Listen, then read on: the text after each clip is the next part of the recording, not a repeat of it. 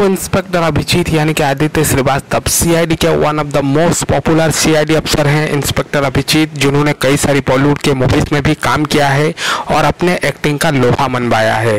तो दोस्तों, अगर आप भी सीआईडी के इंस्पेक्टर अभिजीत को देखना पसंद करते हैं, उनकी एक्टिंग के आप दीवाने हैं तो इस वीडियो को दिल से लाइक कर दीजिए।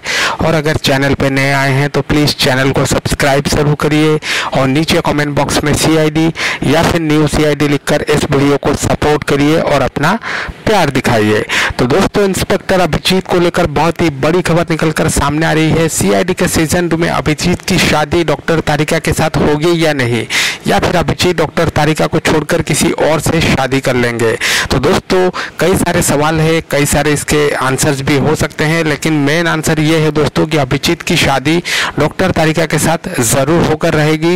ये हंड्रेड एंड वन परसेंट सही बात है दोस्तों। हाँ अभिजीत की याददाश्त जाने की बीमारी है, ये आप लोगों ने देखा होगा सीआईडी के सीज़न वन में कि अभिजीत कई बार खुद को सीआईडी का दुश्मन समझने लगते हैं।